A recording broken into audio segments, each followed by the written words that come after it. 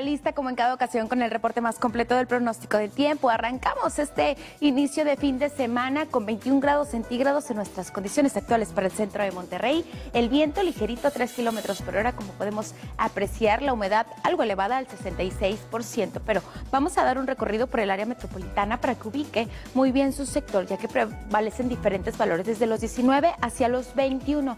19 para Santiago, 20 para Escobedo, 21 para el centro de Monterrey. De igual manera, manera San Nicolás, 18 para García y 19 para Santa Catarina. Hoy por la noche esperamos 19 grados centígrados, una noche bastante agradable como podemos observar.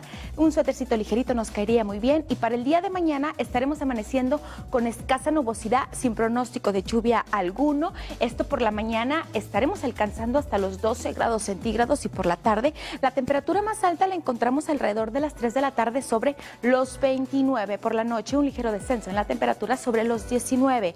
La jornada para los siguientes cuatro días para que organice muy bien sus actividades y sobre todo este fin de semana. Recuerde, en casita hay que seguirnos cuidando para domingo y para lunes. El domingo lo esperamos con un cielo completamente despejado, máxima de 25 centígrados e iniciamos la siguiente semana con escasa nubosidad, sin pronóstico de lluvia alguno. Alcanzamos hasta los 20 grados centígrados, esto en cuanto a las máximas para martes y para miércoles, mínimas desde los 9 hacia los 11 centígrados y para el día miércoles estaremos esperando hasta los 31 grados centígrados, una tarde bastante calurosa, esto para que lo mantenga en cuenta. ¿Y qué es lo que está provocando estos cambios en la temperatura? Este sube y baja en las temperaturas, que bueno, es cuando se dice que son los cambios más enfermizos, es por eso que lo recomiendo tomar bastantes vitaminas, sobre todo para las personas más vulnerables de casa, para los adultos mayores, para los chiquitines, ya que el Frente Frío número 32 de la temporada abandona la península de Yucatán,